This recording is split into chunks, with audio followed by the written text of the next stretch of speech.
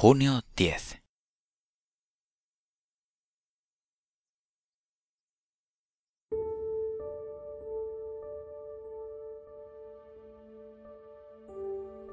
La vida ya no puede volver a ser aburrida o mundana una vez has echado a andar por el sendero espiritual, porque éste pone a la vida en movimiento y nada permanece estático.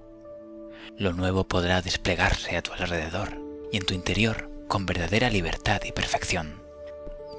¿Te satisface seguir como antes? Eres libre de hacerlo, pero no esperes que suceda nada muy edificante en tu vida si así lo escoges. En ese caso, no puedes esperar que ocurran grandes cambios, ni puedes esperar ser utilizado por mí para atraer el nuevo cielo y la nueva tierra. Las almas que escogen seguir su camino deben estar dispuestas a aceptar las consecuencias. Pero esas otras que quieran seguir mi voluntad y andar por mis caminos dan paso a una nueva era. ¿Por qué esperar hasta mañana a escoger? Elige ahora.